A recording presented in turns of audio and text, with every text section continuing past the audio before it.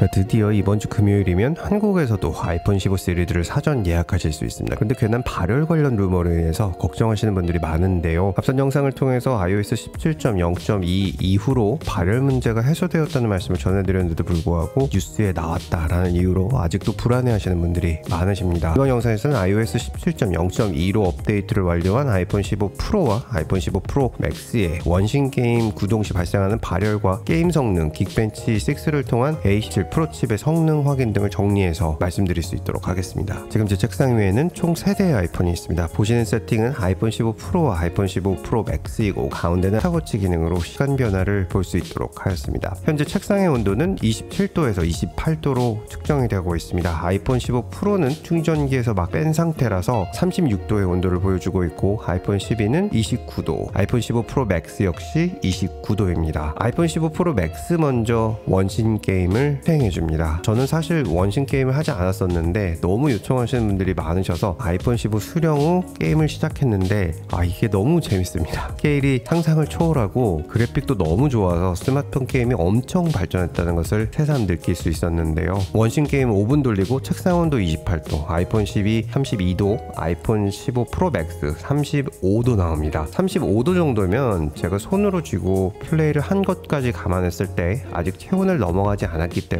발열이 있다고 느끼기는 어려웠습니다. 계속 게임을 진행하고 10분 돌리고는 최대 38도까지 측정이 되었습니다. 이후 바로 긱벤치 6 측정을 하였습니다. 시작 시 온도는 36도였고 약 3분 경과 후 온도는 38도였습니다. 측정값 먼저 말씀드리면 싱글코어 2870점, 멀티코어 7036점으로 측정이 되었습니다. 이는 아이폰 14 프로맥스 싱글코어 2517보다 약 14%, 멀티코어는 약10% 증가한 수준이었습니다. 개인적으로 느끼기에 발열이 전혀 없지는 않지만 우려할 수준의 발열은 없었고 게임 시 성능 저하는 전혀 느낄 수 없었습니다. 아이폰 15 프로의 경우에는 시작 전 31도로 측정이 되었습니다. 게임 시작과 함께 측정한 온도는 36도입니다. 이번에 한글 버전으로 게임을 진행해 보았는데 아 이거 진짜 한번 시작하면 너무 재미있다고 느껴집니다. 약 8분 진행 후 측정되는 온도는 약 39도에서 38도입니다. 12분 정도 진행 후 측정한 온도는 약 38도로 어, 이상의 변화는 없었습니다. 게임 시에도 어떤 문제도 없이 잘 진행되었습니다. 바로 긱벤치 테스트를 시작하고 측정한 최대 온도는 약 41도였습니다. 약 5분 정도의 테스트 완료까지 최대 온도는 41도였습니다. 아이폰 15 프로의 긱벤치 결과값은 single core 2808점, multi core 6708점이 측정되었습니다. 이는 전작인 아이폰 14 프로 single core 점수 2507점보다 약 11% 증가하였고 multi core 점수는 약 5% 증가하였습니다.